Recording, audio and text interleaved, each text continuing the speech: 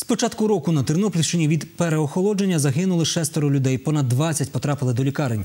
В обласному управлінні Державної служби з надзвичайних ситуацій нагадують, що на базі медичних закладів облаштували 73 стаціонарних пункти обігріву.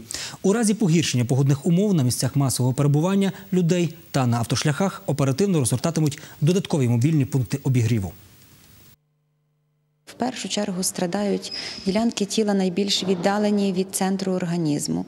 Ті, які е, мають проблеми завжди із кровопостачанням, там, де судинки дрібні, і вони дуже легко звужуються на дію холоду. Це є кисті рук, стопи ніг, вуха, ніс.